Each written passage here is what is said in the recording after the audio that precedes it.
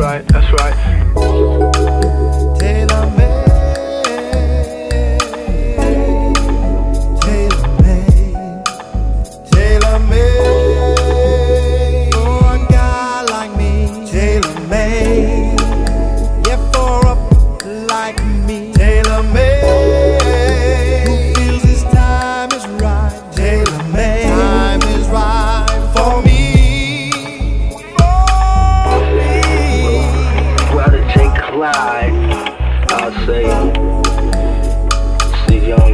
Male like every other black male, you know, born into, came into life not expecting, you feel me, to be in the position that I'm in. I, I didn't expect to have my own hair on and that came to my life without a father being here and shit.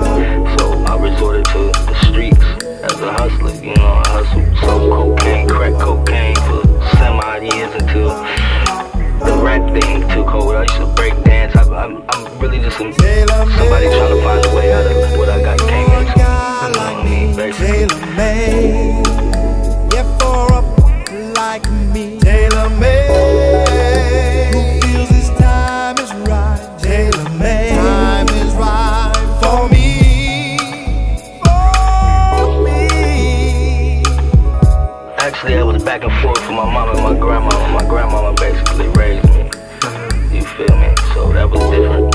You know, I always felt I was different from the in crowd anyway. You know what I mean?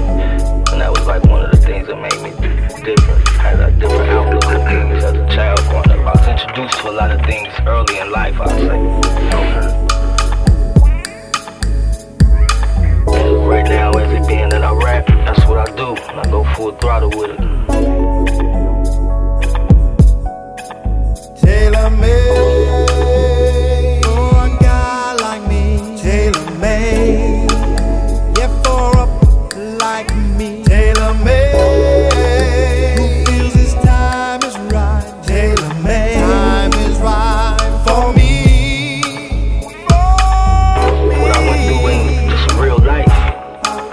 always listen.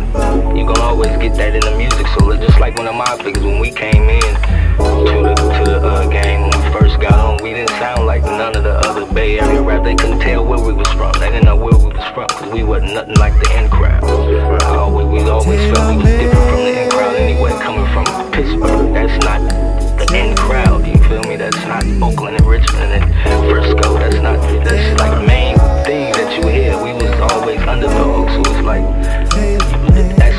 make you go harder.